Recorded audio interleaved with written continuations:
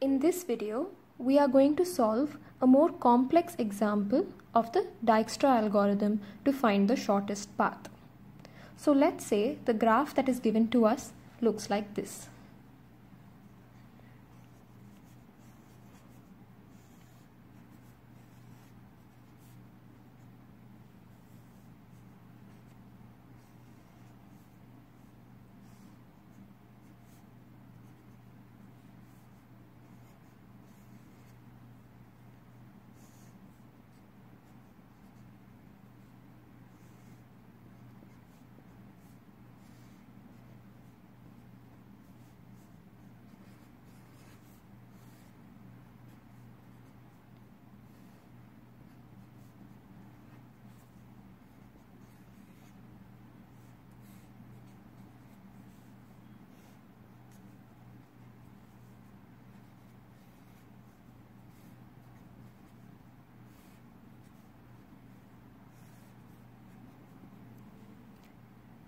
I'm going to make my source vertex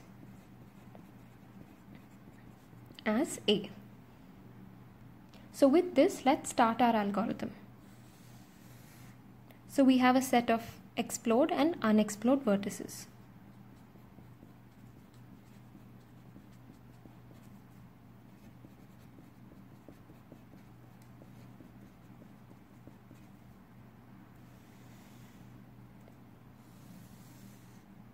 In the beginning, all the vertices are unexplored.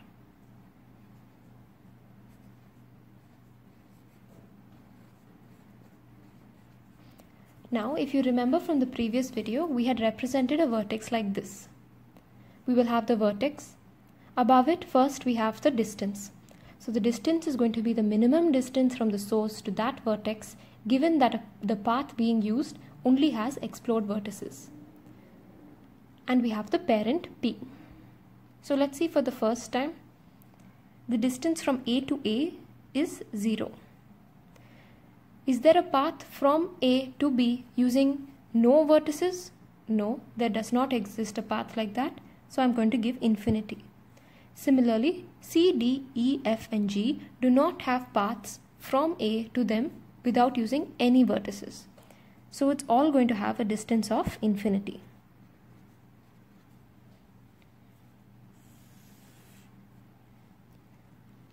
Now I will take the vertex with the shortest distance and make it an explored vertex.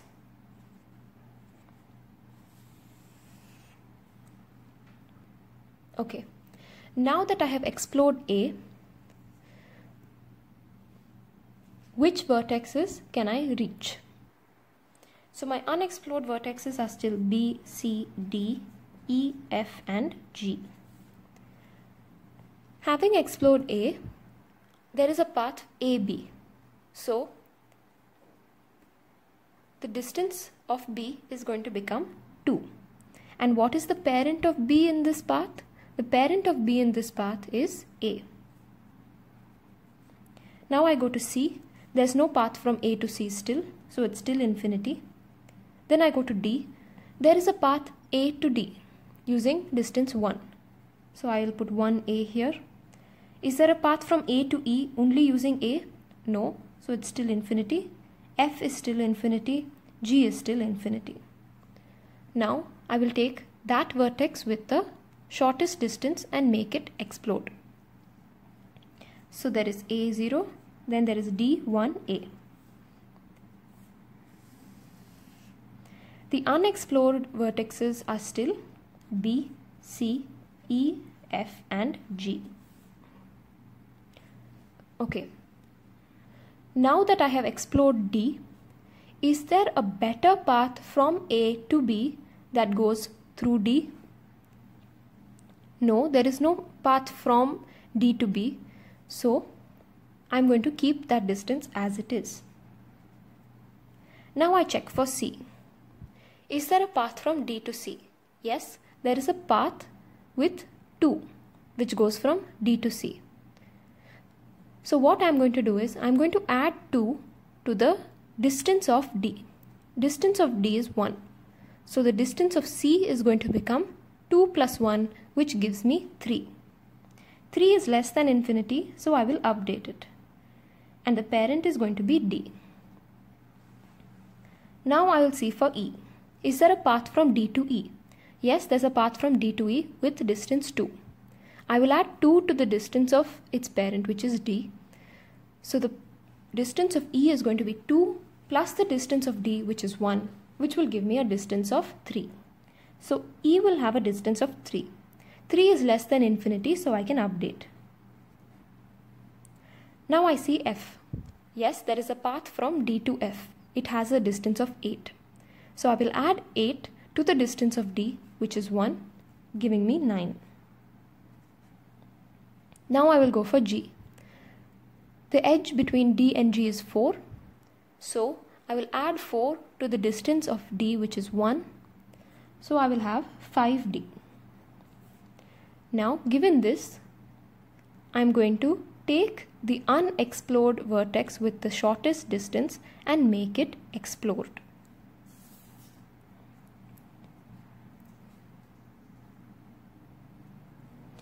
So I'm going to explore B.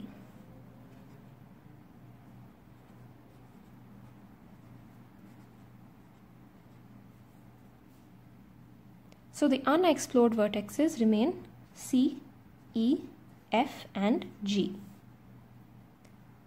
Now that I have explored B, let me start with C. So now is there a path or is there an edge from B to C?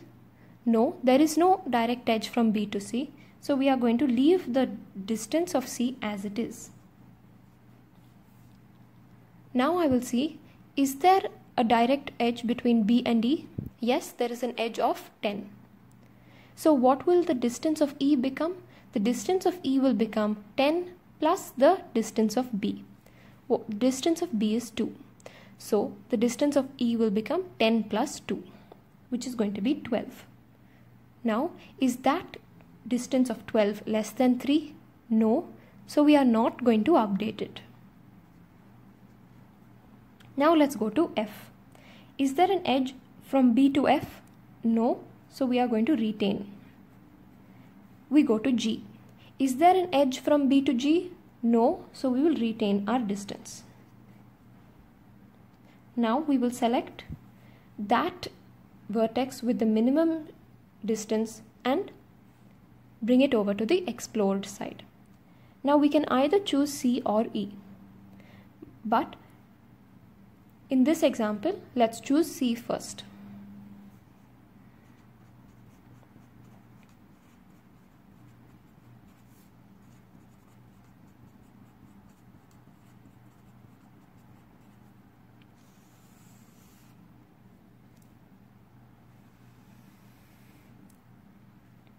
So in our explored side now we have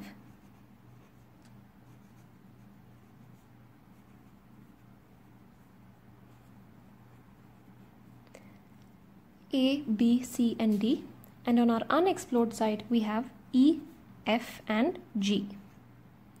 Now we have just explored C. We take E. Is there a direct edge from C to E? No. So we are going to retain the distance of E. Is there a direct edge from C to F? Yes, there is a direct edge from C to F, which is going to be having weight 5. So, what could be the weight of F? 5 plus the weight of C. The weight of C is 3. So now, what becomes the weight of F? 5 plus 3, you get 8. Is 8 less than 9? Yes, so we can update it. So we have 8 as our distance and our parent here is C. Now we come to G.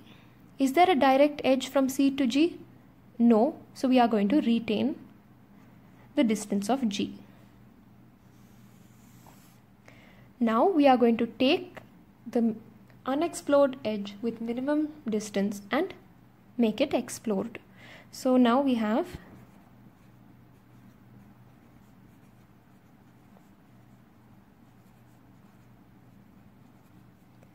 as our unexplored edges or unexplored vertices F and G.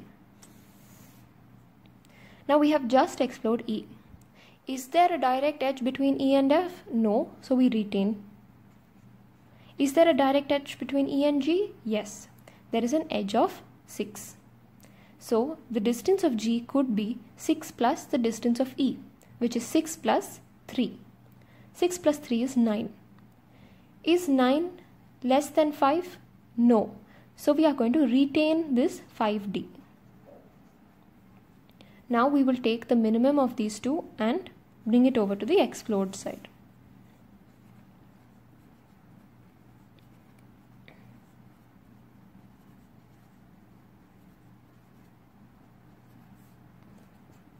Now we have just explored G.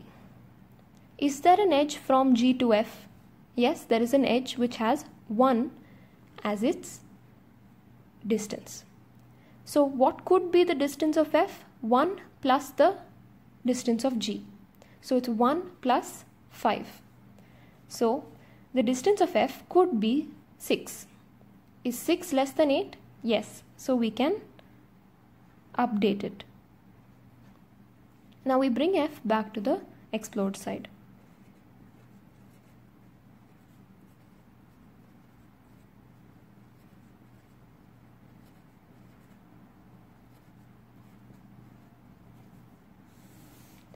With that, we finish exploring all the vertices. So now let's see what the paths we got are. So from our source A, we have to find the paths from to B, C, D, E, F and G. So let's take B. B has parent A. And this is going to be a cost of 2. Now let's take C. C is going to be our destination. C has parent D. Now we go to D. D has parent A. So this is going to have a cost of 3. Now we'll go to D. D has parent A. And that is going to be a cost of 1. Now let's see E. E is going to be our destination. Parent of E is D. Parent of D is A. This is going to have a cost of 3. Now we'll see F. I have F as my destination. Parent of F is G. Parent of G is D. Parent of D is A. This is going to have a cost of 6. Now I have G. Parent of G is D. Parent of D is A. This is going to have a cost of 5. So this is how the Dijkstra algorithm for shortest path is going to work.